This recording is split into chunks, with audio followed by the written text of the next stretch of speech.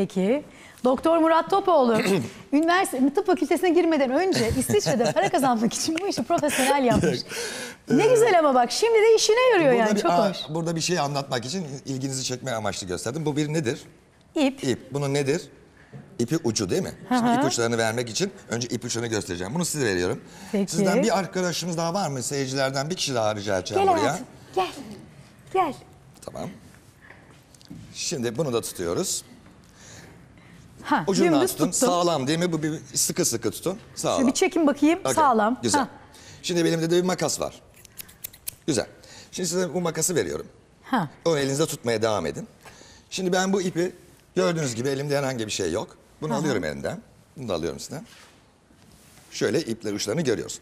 Bunu şimdi ortadan bir keselim. Keseceğim. Evet. Aşağı yukarı ortası burası geliyor. Siz de Şimdi, şahitlik edin. Gelin, gelin böyle buraya. biraz. Şimdi Ha, iki tane ip, ipimin uzun ucu var gördüğümüz gibi. Keseyim mi? Şurayı kesin. Peki. Ay nişan kurdelesi gibi oldu böyle. Evet. Bayağı kestik değil mi? kestim. Evet, Eminsiniz. evet. Şu uçlarına bırakalım. Bıraktım. Gördünüz ortadan aşağı yukarı ipi kestik. Bunu düğümleyelim. Ha. Tamam mı? Birbirine Düğümlesek bile artık kestik onu. Kestik. Doğru. Şimdi uçlarını görüyoruz değil mi? Hı hı. Şimdi bunu şu şekilde tutuyorsunuz. Ortadan kestik bu ipi ve ortadan düğümledik. Tamam. Şimdi şu makası sizden alayım. Hoca görmesin hala çıkıyor. Tamam. bunu da alıyorum. Şöyle elime görüyorsunuz sarıyorum.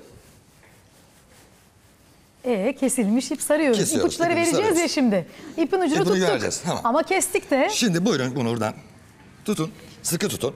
Tuttum. Hadi canım. Ah.